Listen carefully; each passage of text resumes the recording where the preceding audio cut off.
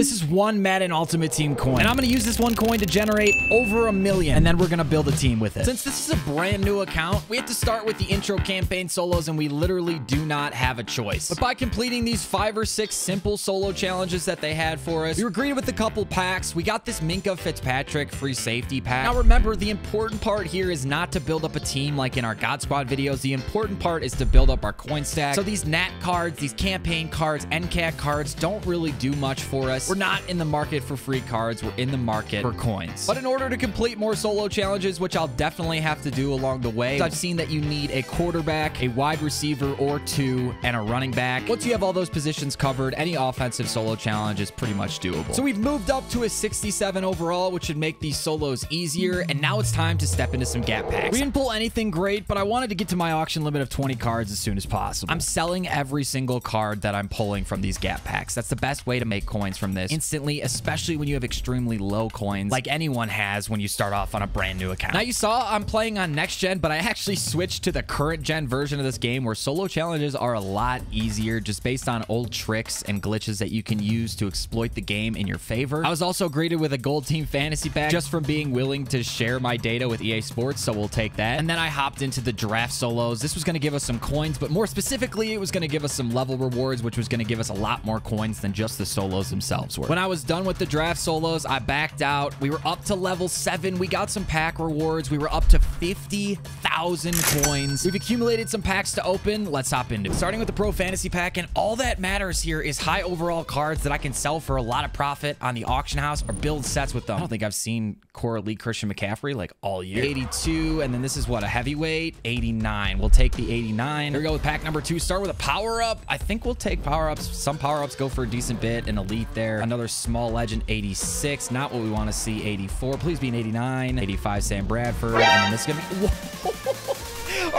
freaking kidding me? 97 cornerback Thurman Thomas. That's what I'm talking about, guys. Pro Fantasy Pack on the solo challenge.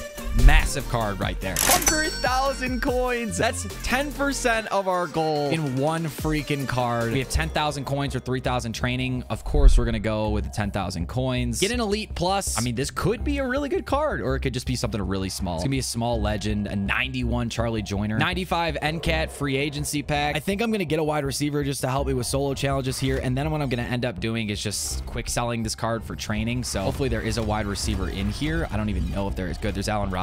And then an 88 plus overall free agency player. I would love a 95. If I get a 95, it's not going to be a 95. It's going to be a 92. Okay. You know what? We'll take a 92. I'm sure it's going for like 30, 40. Never mind. 20,000 coins. So I posted some of those cards that we had just pulled. We also built this Team Builder 2 Levi Wallace card. This is one of the only team builders that we're building for this entire video. This Sticky Floor Sugar Rush challenge also has a hidden egg in it, which we ended up pulling a small egg. It was a 93 Troy Polamalu. Nothing exciting. And we pulled a lot more gap packs. I swear, at this point in the year, this coin making method is still absolutely fine. Next, I hopped into Gridiron Forge, and we got ourselves up to level 10 after doing this. I like Gridiron Forge because you get a lot of packs that you can pull any card in. We can pull golden tickets from these packs. And the 97 overall cornerback that you get from it sells for 26,000 training. So even though he won't be on our team, we'll be able to convert that training into coins down the road. Got five packs from our Gridiron Forge solo, starting with the 85 plus elite player. Big legend, 91 Jerry Rice. Not that great. Here's our 10k coins or 3,000 training. Pro Fantasy Pack, guys, we're a quarter of the way to our goal of a million before we built this team. And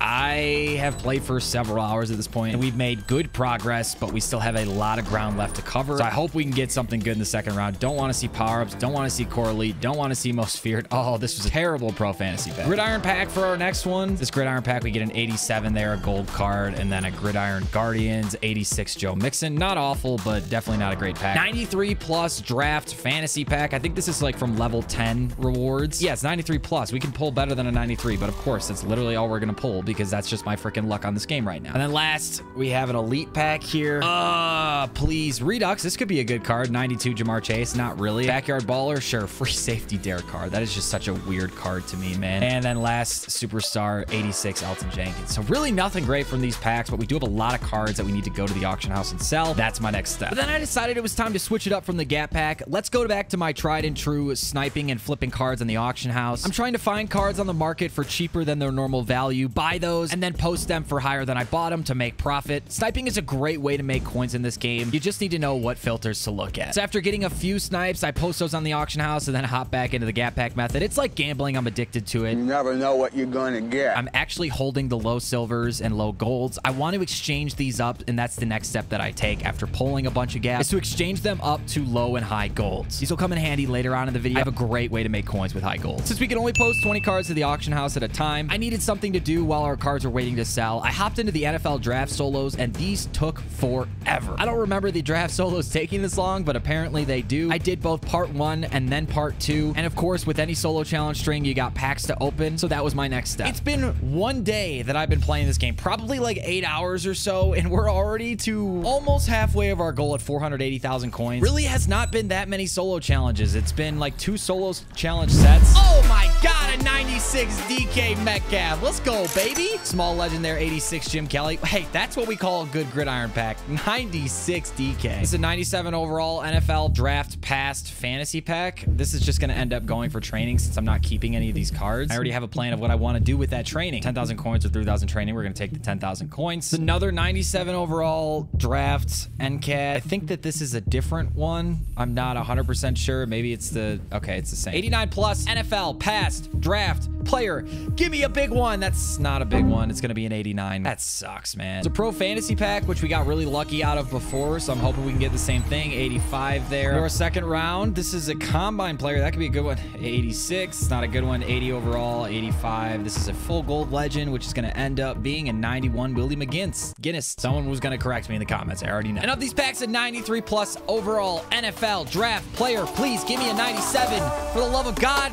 Come on, man. Another 93. That hurts my feelings. We're at about the halfway mark, around half a million coins. But once you get a coin stack in this game, it's so much easier to make more coins from it. We start putting all the cards we just pulled from the packs that we open into Team of the Year sets. We build a Dixon, and we also build a Nick Full. We do some more of the gap pack method to kill some time. Once these cards sell, we should be at around three quarters of the way to our goal. But then our binder will be almost emptied out. We need to get some more packs and cards going. I hop into the Madden Machine solos, you get 40,000 coins just for completing them. You get two 95 NCAT cards and an 88 plus auctionable card. These also took several hours to complete, despite the fact that I'm very efficient in completing solo challenges at this point in the year. Fatigue was starting to set in big time, and you can see that with our next pack opening. I'm like exhausted. Like I'm experiencing like extreme Madden fatigue. I don't know if anyone else feels this when they play this game for a lot. I played like nine hours of this game yesterday, and after a while, it just gets really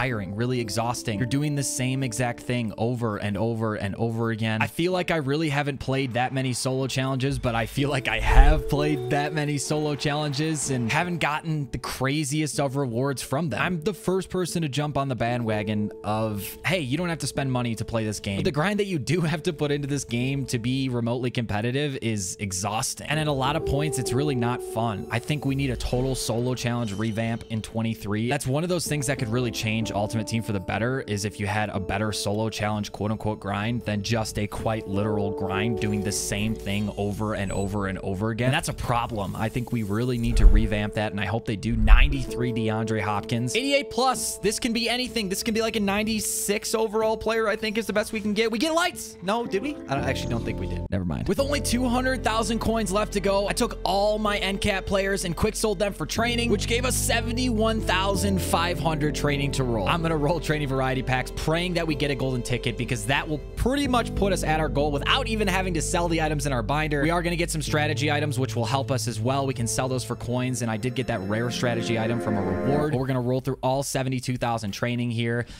On the second pull, are you kidding me, You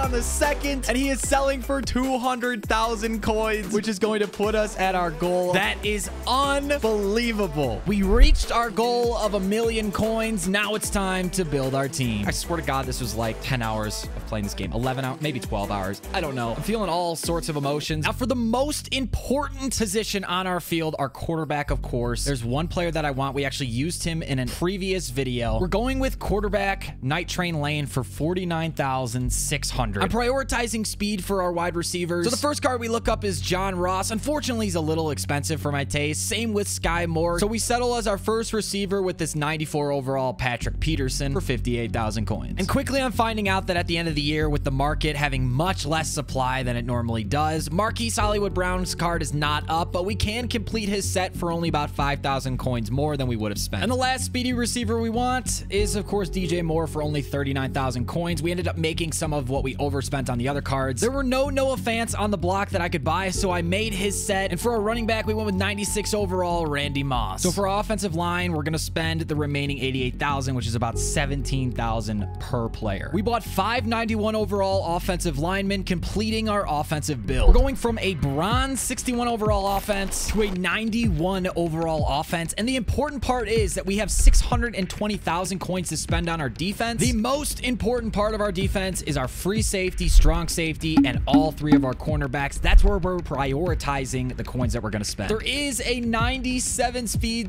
safety, Lewis Cine, or Cine, I don't know how the heck you say this guy's name. And of course, there are no Sugar Rush Budda Bakers on the block, which is the exact same way with Adrian Amos. I'm really running out of luck here. There's just no Sugar Rush cards on the market. Now, I hope this guy is up on the block. He's got 97 speed at our strong safety position. Now, because I want to spend every last coin that we have on our cornerbacks and make sure we budget well for them, I'm actually going to get defensive tackle here. So we're going to go with Corey Peters for 18,000 coins and William the Refrigerator Perry for 20k. Left and right outside linebacker are kind of the same way. We'll buy Charles Haley for 20k and this Aziz guy for 17.3. This Danielle Hunter card played really well for me in a previous video, so we'll go ahead and scoop him up for 39,000. And our right end, I'm going to pick up Super Bowl Malik Jackson, who I also think is kind of a menace off the edge. Now, I really only use one middle linebacker, so for our middle linebacker two, this Lavonte David card is actually pretty fast, and if we need to sub him in, he's a good backup option. For our middle linebacker one, I like Chad, this Chad Muma guy. I don't know, again, who he is. Got drafted. He's a field general. He's only 52,000 coins. The most important part for our remaining three cornerbacks, we've got 250,000 coins left to spend. And the first one that we're going to go with is actually a new draftee. He's 84,000 coins. He's 97 speed, and he's six foot two. Our next guy is a Saint who we've actually used before, a little bit under budget here, which is good. Marshon Lattimore, 96 overall. This is a really good card. And our last player for 87,000, I actually think is going to end up being our cornerback number one, as long as his card's still here. 79,000 coins. a great value to get him at Trent McDuffie. And we've turned our bronze 61 overall defense into an insane 94 overall defense, bringing our total overall to 92. If you want to see gameplay with this team, click up here. But if you want to see a video where I built a God Squad from scratch in just 24 hours, click down here.